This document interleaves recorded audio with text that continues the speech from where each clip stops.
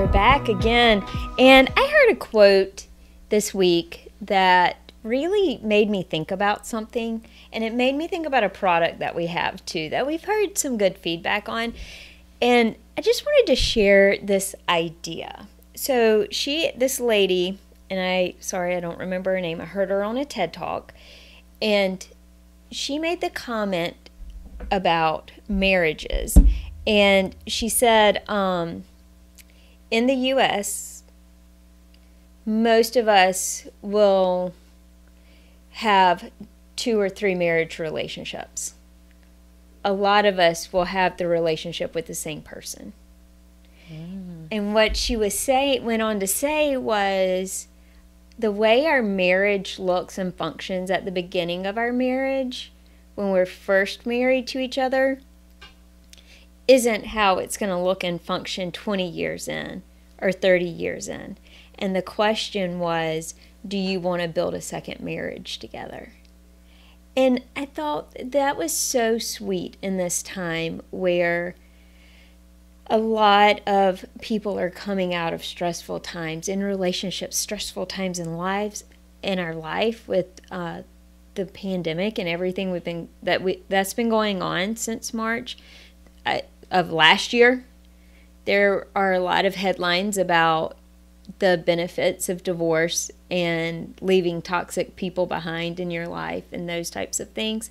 So to hear her TED talk about how marriage changes and then invite your spouse into creating a second marriage together was really a neat perspective to me.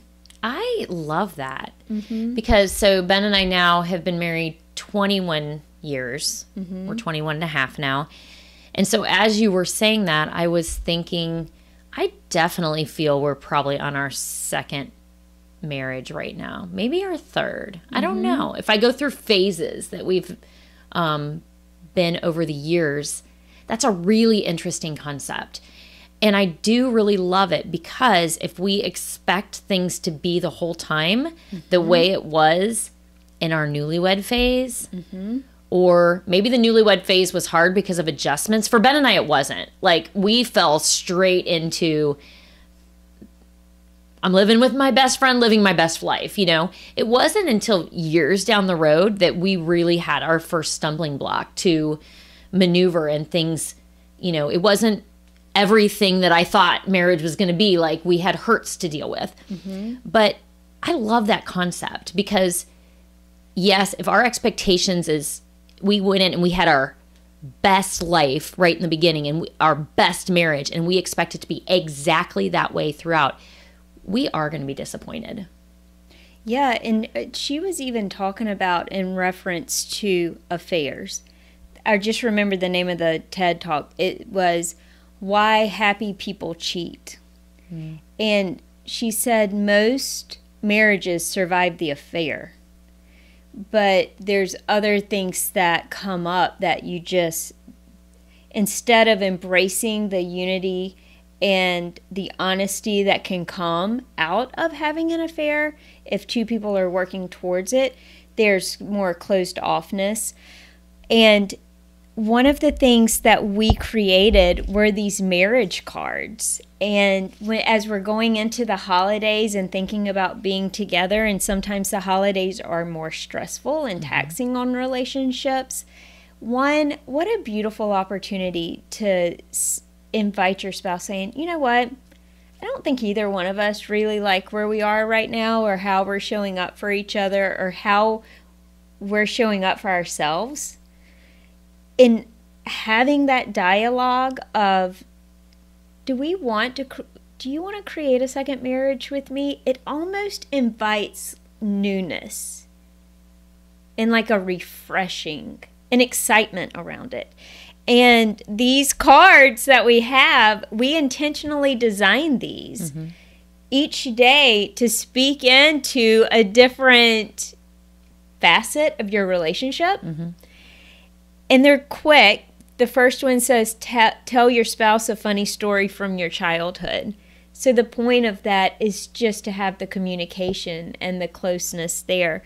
But you were telling me about a sweet story that you recently saw how some men interacted with these cards. Yes. When you offered it to a group. So I took them with me to some meetings that I attended and mm-hmm. offered them up to the room. Mm-hmm. And I, in this particular room, I had a group of men that immediately decided to go ahead and make the purchase.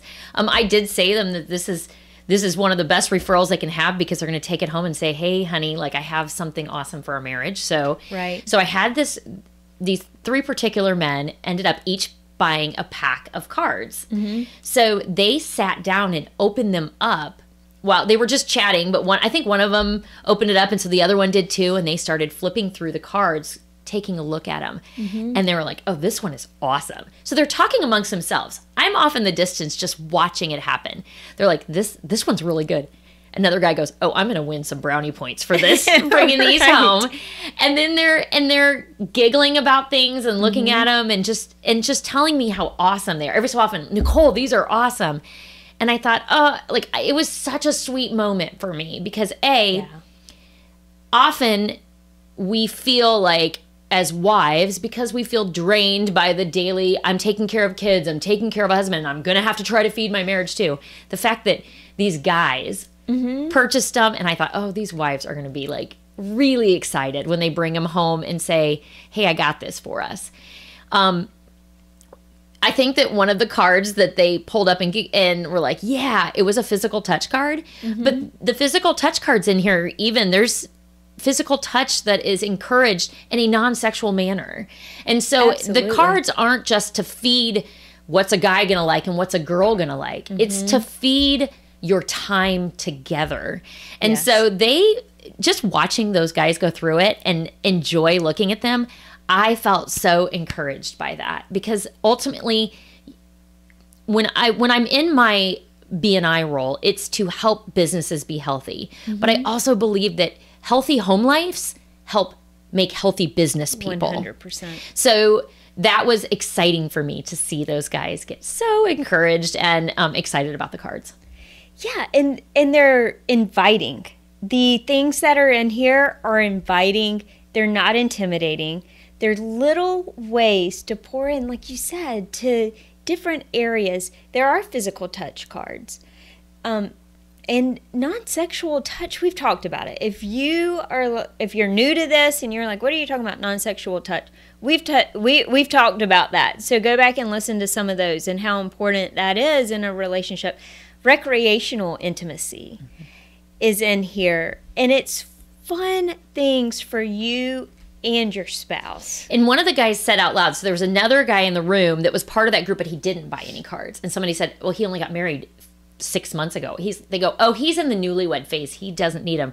I said, yes, he does. yes Because what this does is open up conversation. And if you start early, it becomes a habit throughout your relationship so that you don't have to one day look at each other and be like, I don't even know you anymore. Right. Like, I feel like these are great wedding gifts. Like, start off your marriage, you know, having random conversations and making sure that sometimes we tend to feed into a way that we like to be fed into, but that doesn't Oh, mean yeah. that our spouse is going to feel loved by the same things we feel loved by. Mm-hmm. And one of the things we were super specific about when we created this deck is making sure that all the five love languages are being addressed throughout the deck. Yes. So that I'm able to fill my husband's tank and my tank's being filled and because we don't have the same love languages we are able to recognize that throughout and we do and one of the cards is to figure out what your spouse your and your spouse's love language is That is such an important thing to know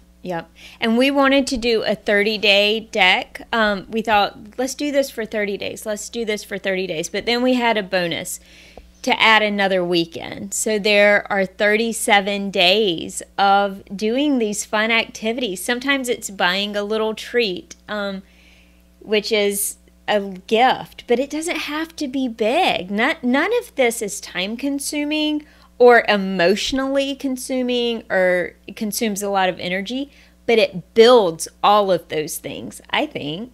Well, one of the other things I didn't tell you this story yet, but somebody came up to me that purchased them afterwards and said, My husband is only home every three weeks, he's home 14 days. She goes, So I'm not going to be able to do the deck straight through.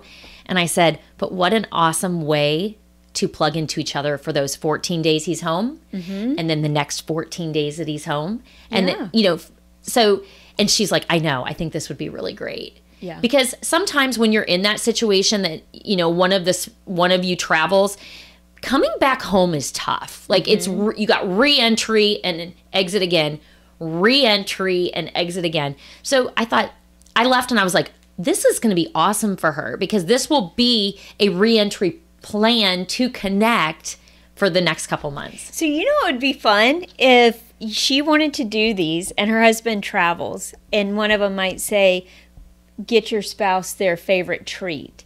If she were to put that in there and say do not open until Thursday or whatever that day ah. would be, that would be fun or have a little delivery to the hotel room like that would be a fun thing to do. It would be fun. I love these cards, so I'm I'm I'm super proud of them. I love them too. I think they're great. I love the intentionality we put behind them because it really speaks into different aspects of the relationship. And we know that's a really important relationship in our life. And when we are connecting and moving forward in life with our spouse, there's not so much tension and frustration and uh, pulling away of what other areas we need to be serving and how we show up in the lives of other people. Um, and also, it's no fun to live in that tension and angst with other people, you know? That just really takes a drain on you, but sometimes you don't know how to reconnect. And it seems like, oh, it's going to be such a big deal. These cards are so fun. So you can purchase these online. It makes it super easy. Yep, It's just and- go to our website. Yep, you can go to our website. We'll also put the link in this podcast episode so you can order straight from there. We wanted to make them super affordable so that anybody could get them. It would be a great stocking stuffer if you could wait till Christmas, but I would encourage you to do it now. Like, let it be an early Christmas present. I think they're also a great wedding gift. So having them on hand to put Absolutely. Mm-hmm. into wedding gifts for couples, I think that um, I think it's a great way to start your marriage. That's a cute idea. It would also be a great uh, one year anniversary gift. I agree. If you are interested in connecting with us with what we do with coaching if if maybe your relationship is off and you just don't know how to get it back on track not even with your spouse but maybe it's another relationship in your life or you feel stuck in your career or there's a relationship in in your work situation that is just holding you back you're stuck it's draining your energy and you don't know what to do.